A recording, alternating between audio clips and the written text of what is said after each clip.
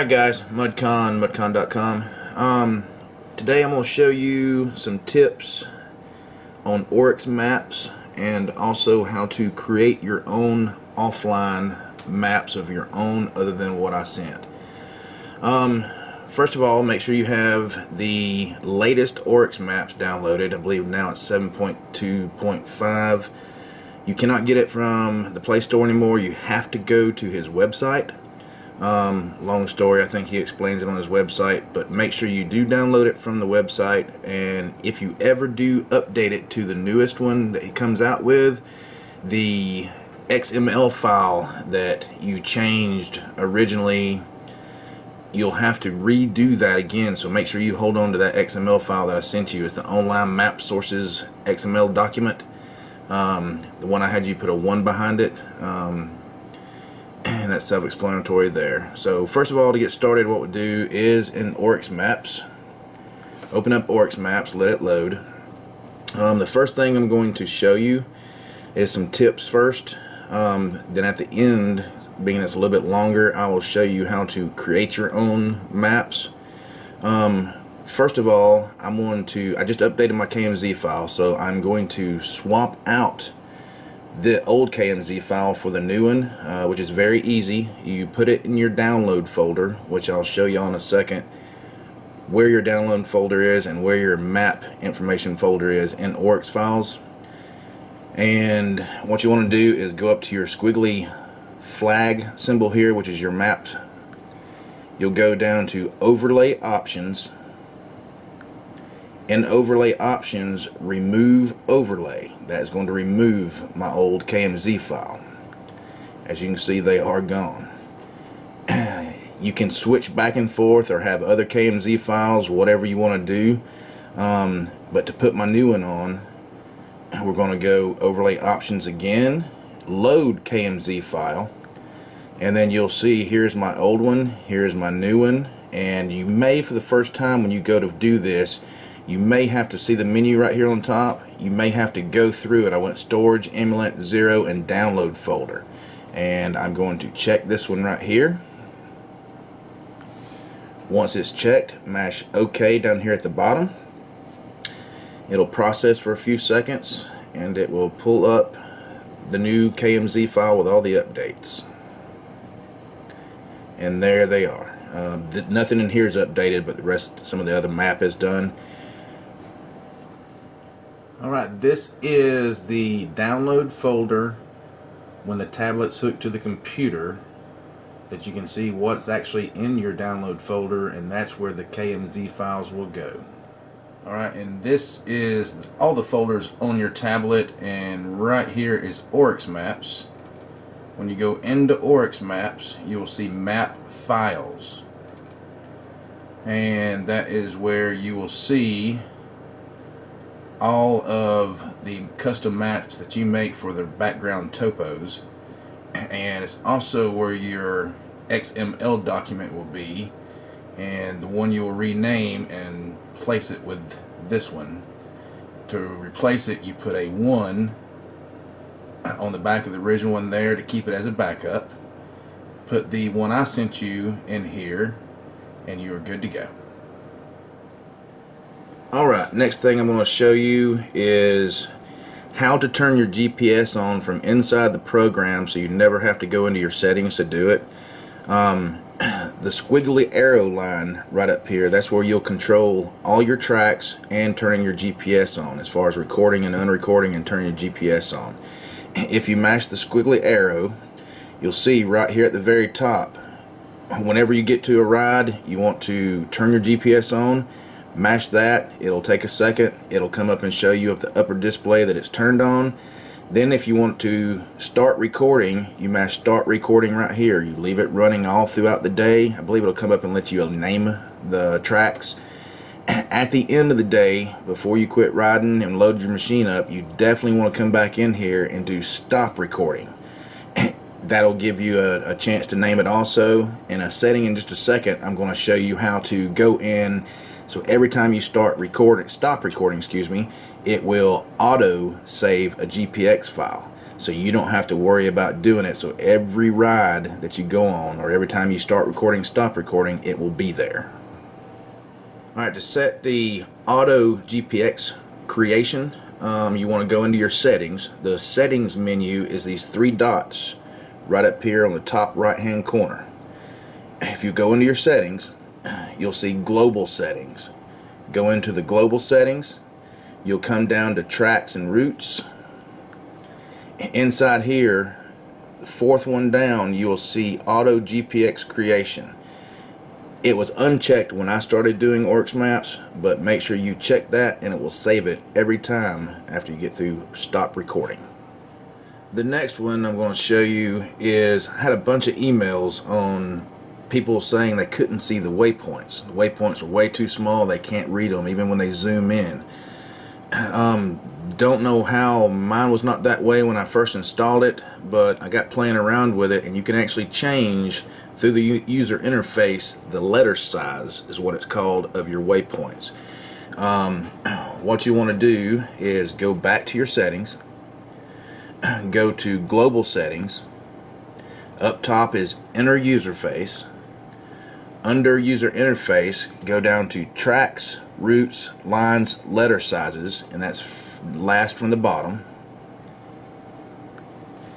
And down towards the bottom you will see letter size. It is fourth one up from the bottom. Um, apparently when you first install it letter size is between 16 to 18 from people that's told me. I put mine on 42 and it is actually perfect size after you do that you'll definitely be able to read them uh, the next one I'm going to show you is turn off the track names. Um, there's so many tracks on my master map. Um, not every track has a name that makes sense so you really don't want to show it on the map and it also makes it get too cluttered. Um, little branches off, um, little side trails, little cut throughs, um, yeah, I'm not going to go in and name every one of them, so uh, some of the names don't even make sense. So with it being shown, it does make it too cluttered. So to turn off the track names, you'll go back into settings and go under the global settings. Fourth one down is maps. And go into KM, this one's called KML overlay settings. And then you'll see right here at the very bottom is overlay path text uncheck that and it will turn off the track names and it'll be less cluttered. Alright, one last thing I'm going to show you before I show you how to create your own map. Um, the side menus, this one here, uh, a lot of things are here that are up in the main menus. I just find it always easier to find up in the main menus. You have a right bar and you have a left bar. Uh, they will disappear after a few seconds of not touching them. Um, to create your maps you can go through the steps to get up to create them um, or you can put a button over here in the right hand corner which I did down here at the bottom. It's a same map logo with a plus sign on the bottom. How you do that is go into your settings global settings and user interface and go down here to the second one down which is buttons and the button you have custom made your own button bars. Right here you can see that I have added that button to here and you just scroll through until you find there it is right there the button with the plus sign at the bottom with the map excuse me with the plus sign at the bottom.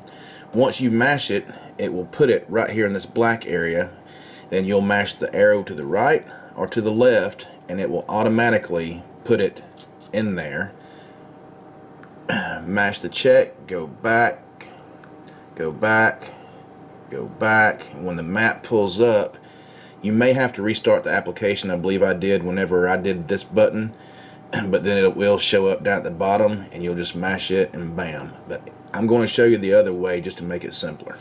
To make the offline map you what you want to do is make sure you are actually on the online map so you have everything shown go up to the map menu go into switch map just verify that you are on the online maps. Offline map shows you everything that you've created.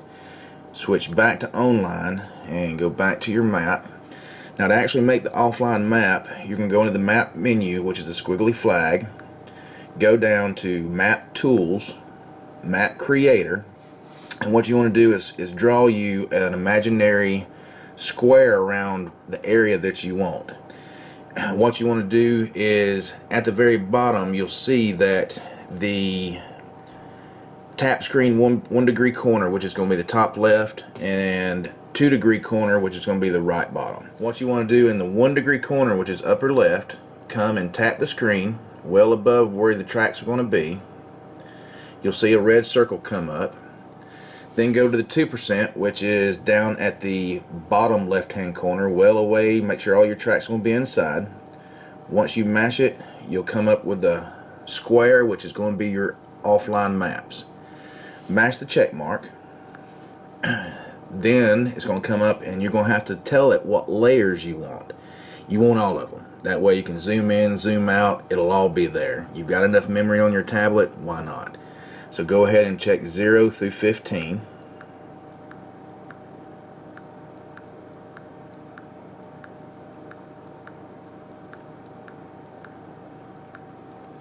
and this is a pretty small one so this one's only 45 megabytes it'll tell you the approximate size right there uh, some of them I've had has been three, four, five hundred. I think it caps off at 585 or 590, something like that for per map. So you may have to make a couple maps for each riding area if it's big enough.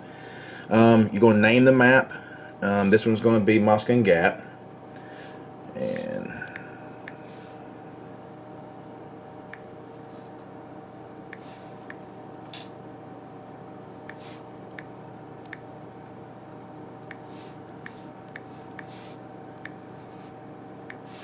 And I'll go ahead and put Arkansas in there so I'll remember where it's at.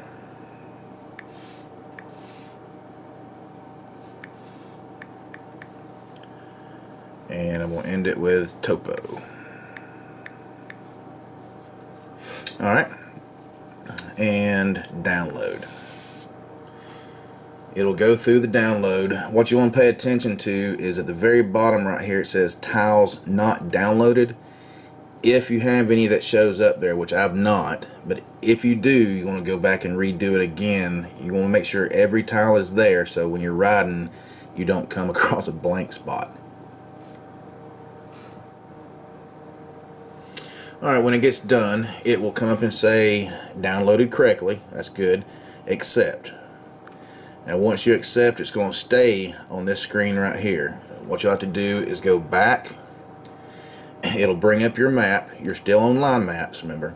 Go back up to the screen, uh, the squiggly map, switch map. Now what you want to do is switch over to your offline. You'll see you don't see it. You'll need to bring it into there, which is there's a refresh button, which is the arrows going around. Mash that refresh, and bam, now it shows up.